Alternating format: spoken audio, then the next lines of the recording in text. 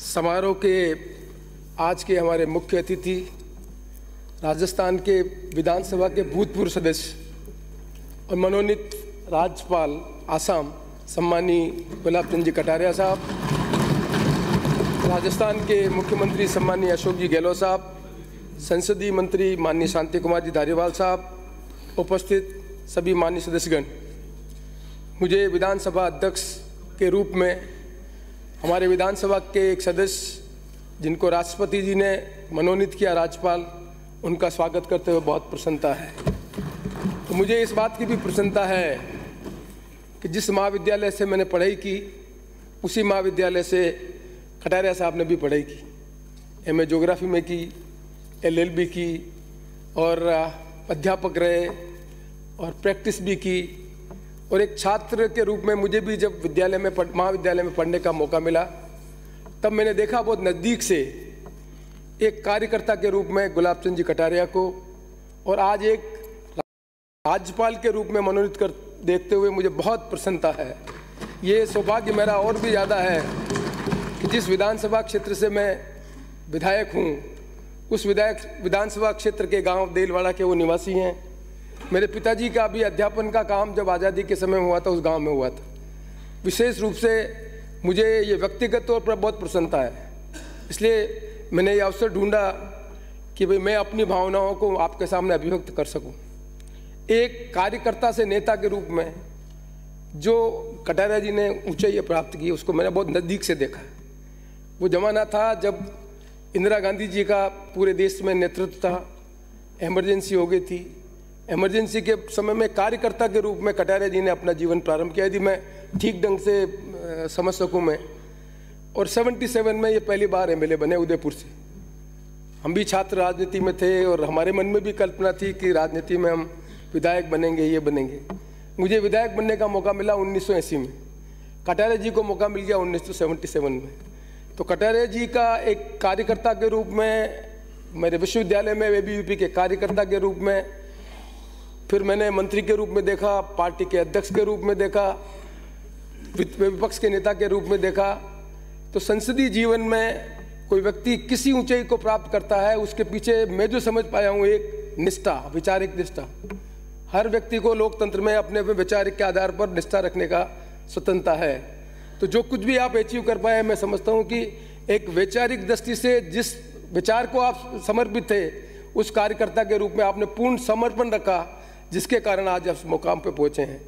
संसदीय लोकतंत्र में ये आवश्यक है, क्योंकि विभिन्न राजनीतिक विचारधारा के लोग राजनीति में काम करेंगे और संसदीय लोकतंत्र की यही ताकत है कि हम वैचारिक दृष्टि से लोगों के बीच जाएँ और अपनी वैचारिक बातों को जनता के बीच में कहें, मत लें, सत्ता में आए और राज करने का काम करें।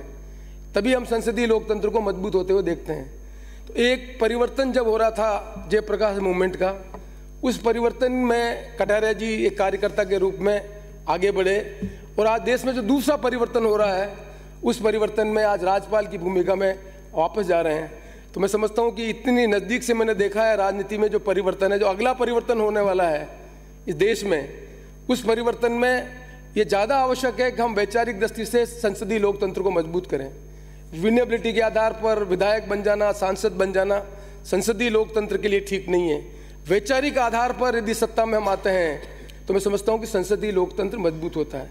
और आज देश में यह आवश्यकता है कि संविधान में हमने कल्पना की कि कौन से विषय हैं जो संसद से निर्णय करेगी, कौन से विषय हैं जो विधानसभा निर्णय करेगी और कौन से विषय हैं जिन पे कॉन्क्रेंट लिस्ट में है। वहाँ अल्टरनेट गवर्नेंस के लिए ज़रूरी है कि हम कौन सी वैचारिक जनता के सामने बात रखना चाहते हैं। किस विचार के आधार पर देश का हम नीति बनाकर देश का निर्माण करना चाहते हैं, ये आज बहुत बड़ी चुनौती है। क्योंकि हमने अडॉप्ट किया है कि पार्लियामेंट्री डेमोक्रेसी के माध्यम से हम आगे बढ़ेंगे। हमने अडॉप्ट किया है देश में जो चिंता चल रही है कि पार्लियामेंट सुपर सुपीरियर है या लेजिस्लेटर के ज़्यादा जुडिशरी सुपीरियर है। इस देश में जैसे जैसे डेमोक्रेसी इवॉल्व हो रही है वैसे वैसे लेजिस्लेटर एग्जीक्यूटिव और जुडिशरी के बीच में जो पावर बैलेंस है, उसमें एब्रेशन आता जा रहा है। और ये ज़्यादा आवश्यकता है कि आज हम अकाउंटेबिलिटी लेजिस्लेटर की, क्योंकि जनता चुनती है विधायक को, और यदि हम एग्जीक्यूटिव की असेंबली ही नहीं चलती है तो जो गवर्नेंस में वाजडोक के जो भूमिका है भूमिका का हम निर्वहन नहीं कर सकते।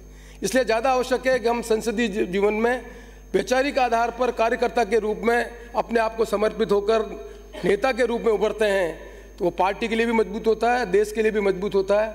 और इसी सब दस्ती से मुझे लगता है कि कटारिया जी को मैंने बहुत लंबे समय से देखा है, अब आपकी भूमिका भूमिका दूसरी हो जाएगी। कॉन्स्टिट्यूशन में गवर्नर की डेफिनेट भूमिका बहुत क्लियर कट लिखी हुई है। गवर्नर की भूमिका में बहुत बड़ी ज़िम्मेदारी आ जाती है कि संवैधानिक जो अपेक्षाएँ हैं, उन अपेक्षाओं को पूरा करने की ज़िम्मेदारी गवर्नेंस गवर्नर के पास है। गवर्नर के पास सिक्स शेड्यूल के अंतर्गत पावर है जहाँ एस के आदमी को लिए गवर्नेंस करने के लिए गवर्नर को इंटरवेंट करने का अधिकार है। तो मैं समझता हूँ कि संसदीय जीवन में इतना अनुभव और जो संवैधानिक उत्तरदायित्व इनको मिल रहा है, वो उत्तरदायित्व राजस्थान में जितने भी लोग अलग अलग सार्वजनिक जीवन में आना चाहते हैं, उनके लिए एक उदाहरण बने, ऐसी मैं अपेक्षा करता हूँ। इन्हीं सब शब्दों के साथ मैं विधानसभा का अध्यक्ष होने के नाते मैंने आपको प्रतिपक्ष के नेता के रूप में भी देखा है। प्रतिपक्ष के रूप नेता के रूप में भी देखा है, सहृदयता भी देखा है और वैचारिक देश से मज़बूत आदमी भी देखा मैंने।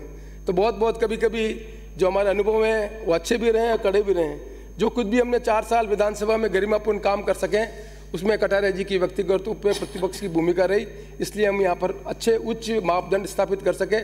उसके लिए मैं आपका बहुत बहुत आभार व्यक्त करता हूँ। चाहे सीपीए हो, उनमें हमने जो प्रोग्राम किए, सब इसलिए हो सके कि प्रतिपक्ष के नेता के रूप में कटारिया जी की भी एक अहम भूमिका रही, इसलिए हम ये सब नए मापदंड स्थापित कर सके।